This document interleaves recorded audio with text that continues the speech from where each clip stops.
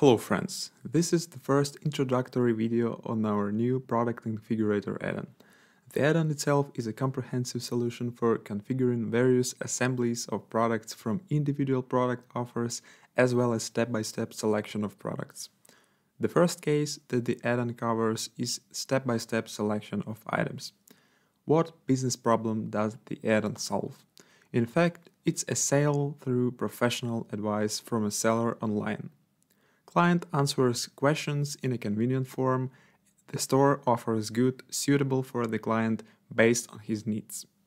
If you're a professional in your field and you know what questions customers ask, what worries them, and how they make purchasing decisions, this opens up endless opportunities for you to sell more products in your online store.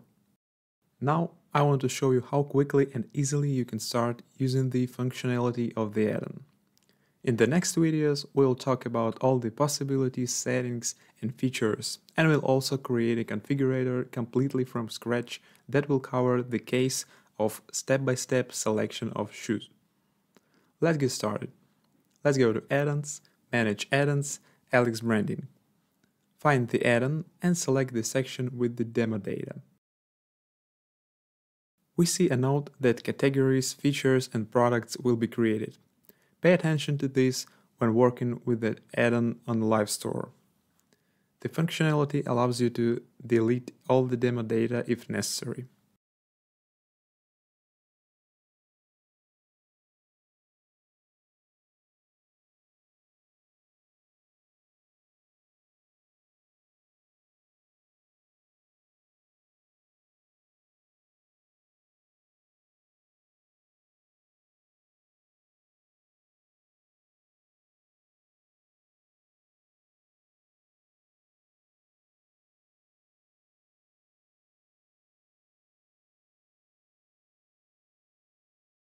Done. Let's open the Configurators Management tab and preview it.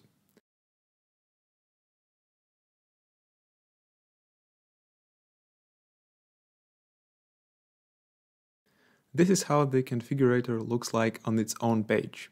The end result in this demo example is a page with several selected products, in our case sneakers.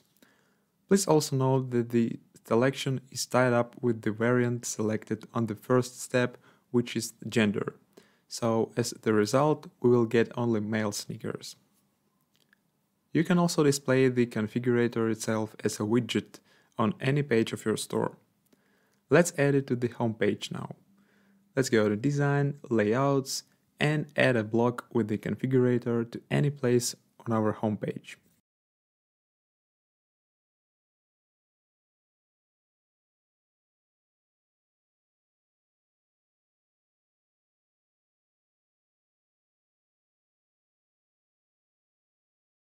The block name will be displayed on the front end.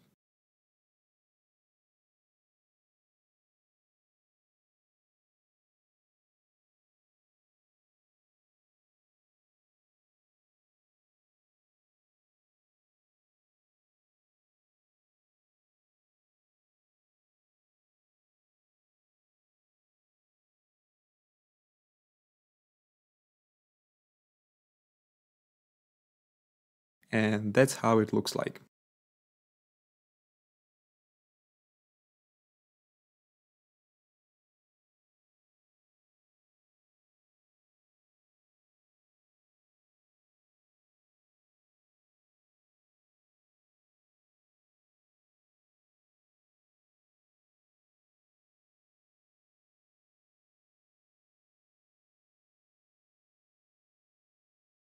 That's pretty much it for today's video, subscribe to our channel to always stay up to date with the all updates and new releases from Alex Branding team.